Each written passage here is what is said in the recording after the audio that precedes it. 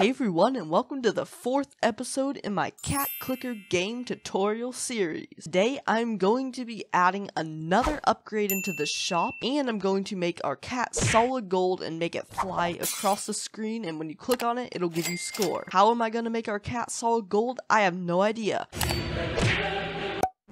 But before we get into the video, don't forget to hit that like button and punch the subscribe button and leave a comment down below for more scratch tutorials. But anyway, let's get right into the video. Okay, so I'm going to go over the sprites and costumes you'll need. First of all, in the UI, I have two new costumes. One is called Meow Power, and it is just an, an upgrade that increases cats per click by 0.2. And then I have a, another one called Locked. That means we're going to add the unlocking into the game to where you have to buy a couple of these in order to unlock the next tier of upgrade. Then I have a sprite called Gold Cat, and it is just our click sprite, but very shiny and golden. But don't worry, if you don't want to make these sprites, or you just want to use these exact sprites, then I'll put a link in the description to a place where you can get all of my art for Cat Clicker episode 1 through 4. But with that out of the way, let's get coding. Okay, start by clicking on the stage or the backdrop and pull out a when green flag clicked. Then a wait one second, followed up by a forever loop, then an if total cats is greater greater than zero, then we can wait, pick random 15 to 30 second, then we're going to create clone of gold cat. So now we have this creating some clones of the cat. Click onto the gold cat and pull out a when green flag clicked. Next, make a new block and name this reset like this and make sure you click this run screen without refresh. Now you can do when I start as a clone. Let's do switch costume to gold cat, set size to 25%, go to front layer, clear graphic effects, and then we're going to set Y to pick random negative 50 to 50. So that's just going to make it kind of go up and down. It could be like from here to here. That way it's a random every time. And now let's make a new for the sprite only variable. Make sure you do for the sprite only. That way it's independent to each clone. And name this gold cat speed. So now we're going to pull this underneath right here. And you can go ahead and set Y2 right there. And we're going to go ahead and set the gold cat speed, wherever that is, to pick random 4 to 6. Then we're going to do an if else and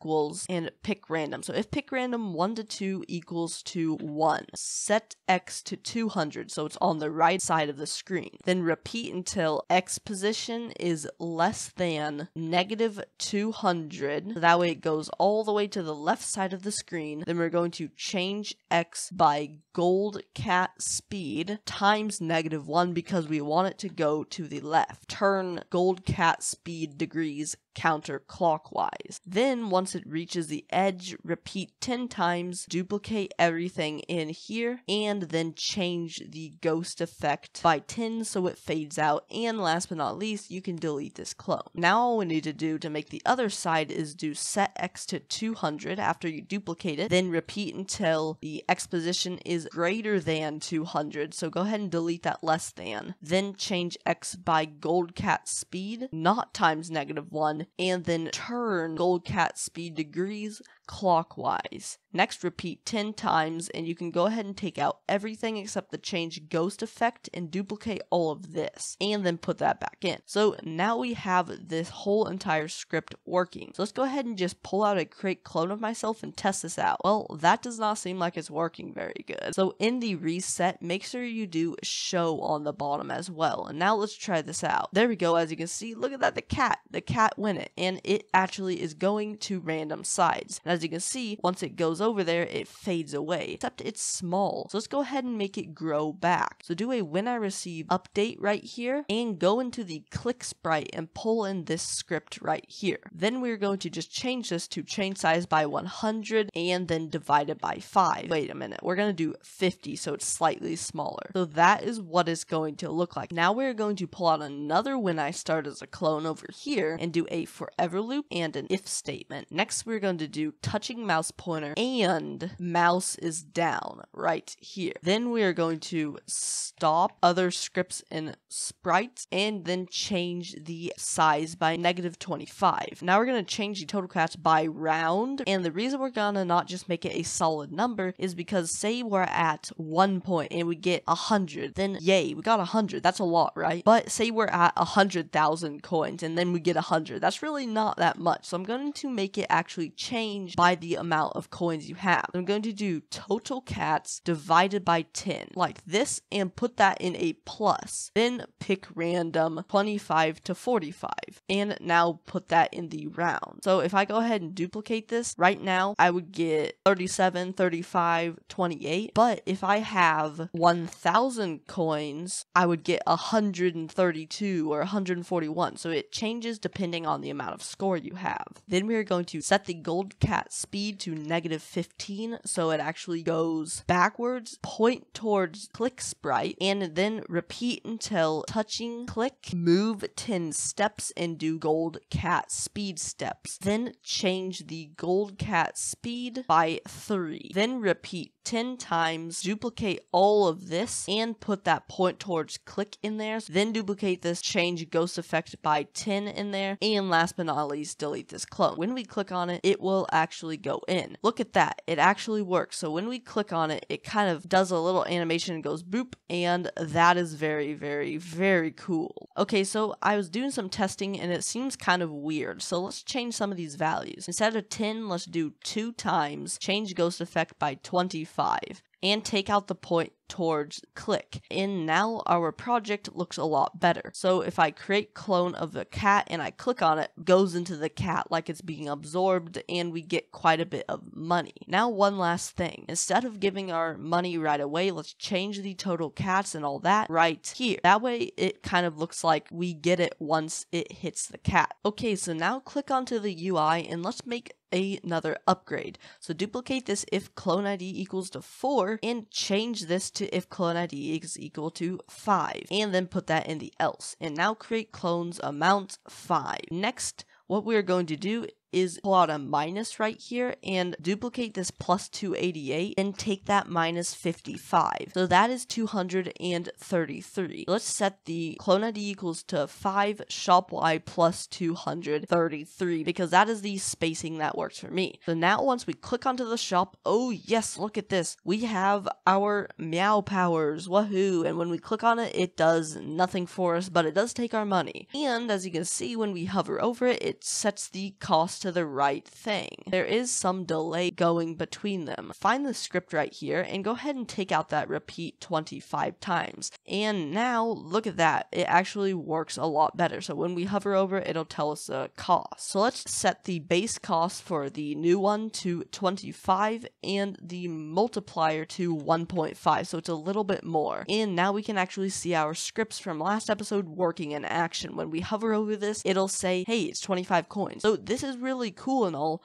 but how do we know like if we have enough money or not? Say we just want to have a quick way of knowing if we have enough money instead of having to read and compare our score. So the way to do this is make it to where when we don't have enough money, it actually makes the cost kind of red. So what we can do is go into the UI and see this can buy, pull all of this into the cost. Find this look right here and put this on the very bottom. Next we can do an if else right here and then put all of that in there. And if it is, then this means that we have enough money to buy. But otherwise, this means we don't have enough money to buy. So if we don't, we're going to set the color to 5, the brightness to 15, and the size to 25. And if we do have enough money, then we're going to set the color to 7 and the brightness to 90. Basically, this is just going to make it green if we have enough money and red if we don't have enough money. So right off the bat, this looks like it's working. So let's just test this out. So if we get 5 coins, it is the white kind of greenish color, but this one's still red because we don't have enough money to buy it. And once again, for some reason, the shop is still being silly, so let's change this Y position because it is kind of floating still. It is the clone ID is equal to 2, so let's instead of plus 132, try like 145 because now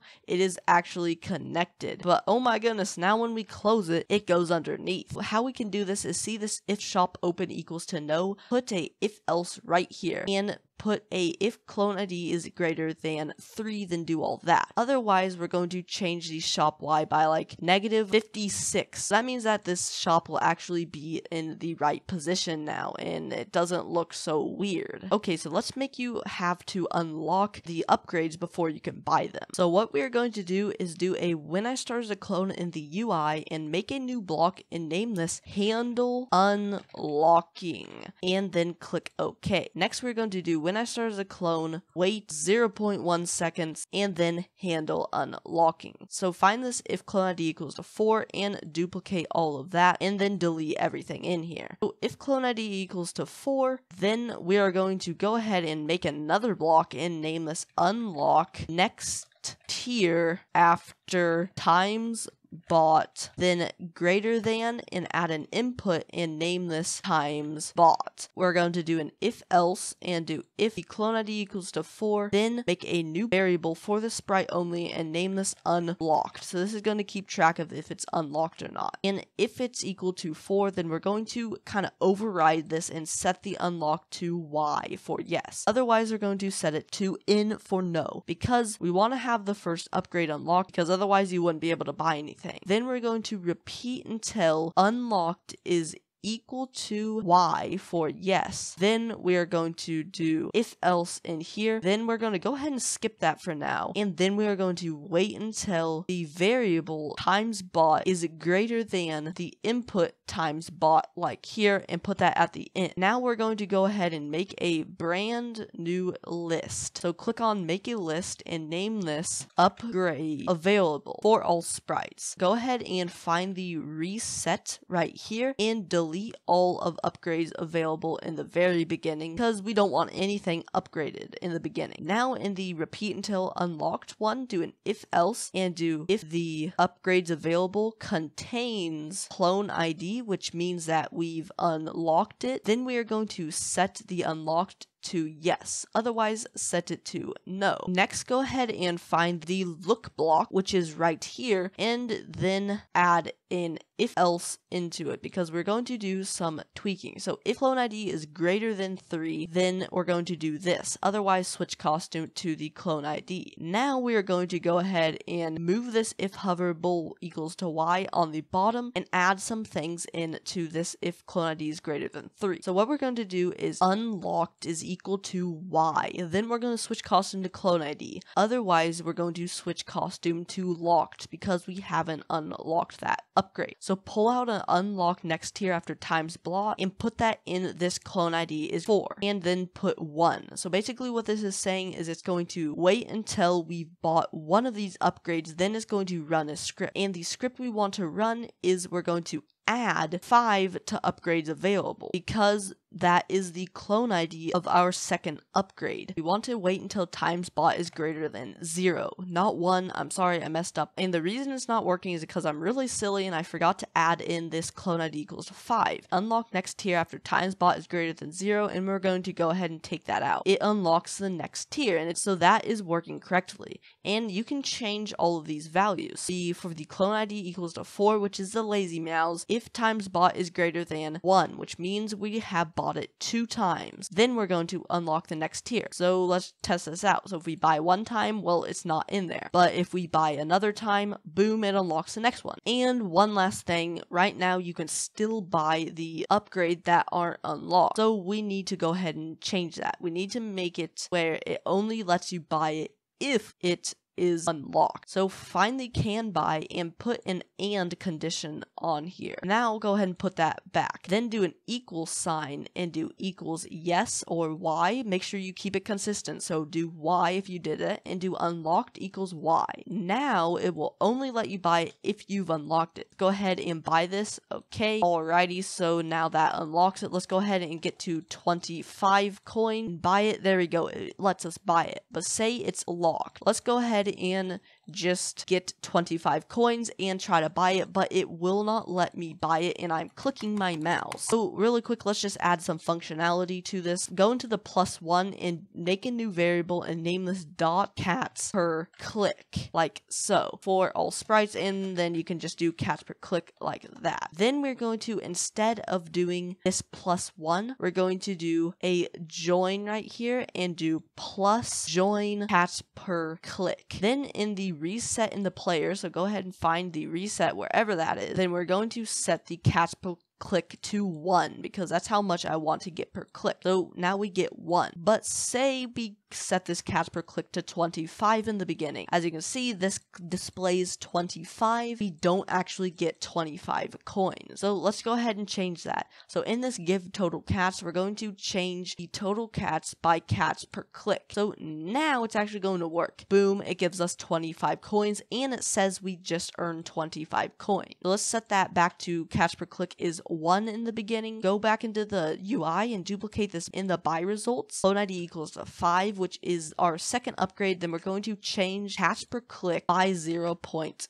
two. So now it should actually work. Let's go ahead and buy some of these lazy mouths and then get to 25 coins so we can actually test this out. And hopefully, yes, look at that. When we click, we make 1.2 per click now. So this is working good and there's a golden cat. But this is kind of doing that same weird thing that the cats per second did. So what we need to do is do the same thing in this round block in the click. We need to set the cats per click to round the cats per click, all that stuff. So now as soon as we do that, look at that, it cuts off all of those numbers and everything looks good. So now we make two per click and this starts to really get fun because now we can buy lots of upgrades and it is looking very good. So that is the end of the episode. Thank you all so much for watching. I really hope you enjoy this episode. If you did, then make sure to hit the like button and consider subscribing for more awesome Scratch tutorials. But anyways, this has been Owen and I am out.